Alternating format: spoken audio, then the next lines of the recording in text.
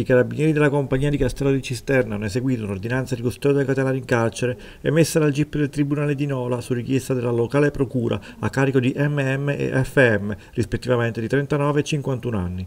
I due conviventi sono ritenuti gravemente indiziati dell'omicidio aggravato di Vellega Domenica Antonio, commesso tra i comuni di Acerra e Marigliano il 3 marzo 2022.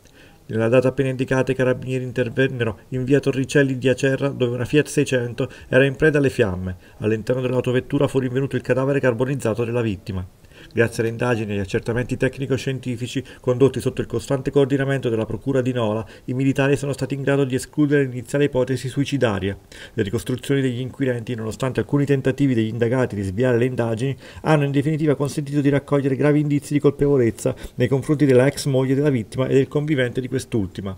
I due indagati la sera del 3 marzo 2022 avrebbero gravemente ferito Vellega Domenica Antonio all'interno della loro abitazione, adoperandosi successivamente per sopprimere il corpo, prima riponendolo all'interno del veicolo lui in uso, poi appiccando un incendio all'autovettura quando la vittima era ancora in fin di vita. I due indagati saranno tradotti rispettivamente presso l'Istituto Penitenziario Maschile di Napoli Poggio Reale e l'Istituto Femminile di Pozzuoli. I destinatari della misura cautelare allo Stato devono intendersi unicamente indiziati di delitto e la loro posizione sarà definitivamente accertata solo all'esito dell'emissione di una sentenza passata in giudicato, in ossequio al principio costituzionale di presunzione di innocenza.